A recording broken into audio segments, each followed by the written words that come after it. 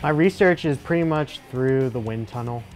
What I'm trying to do is understand boundary layers of objects and how that affects the drag force on objects. Ultimately, what I'm trying to do is apply dimples to cars, different spots on the cars to see what happens with the drag force, if it reduces it or if it increases it. I've looked at three different spots on the cars and what I found was my original readings for the roof, which is my first test, came back fairly favorable. What happened was a 25% reduction in drag. So I thought, you know, it's not the most practical spot on a car to put it on the roof. So why don't I just try and put it on the sides? What I found was it made no difference really where I put it on the car, at least up until this point. It could change for the back and the front.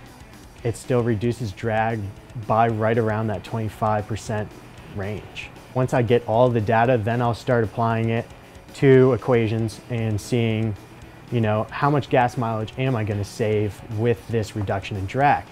Ultimately, it'd be really cool if I started seeing dimples on cars, just because from what I found, it looks practical.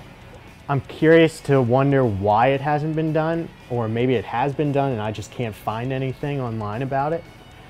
But I would like to start seeing it based on the results that I have, at least try it in a real life situation. I think that would be really neat to see if it does apply, just does transfer over from wind tunnel to real world application.